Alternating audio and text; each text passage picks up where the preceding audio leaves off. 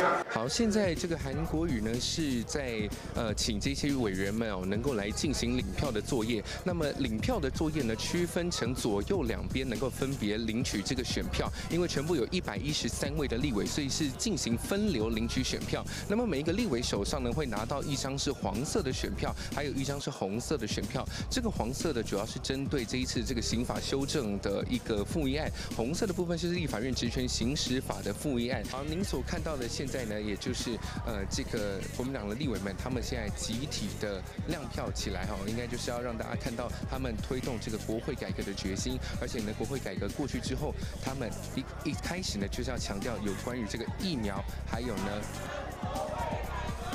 好，现在这个国民党立委是在高喊口号，稍待一会呢有最新的这个投票结果，我们也会马上来为您进行报道。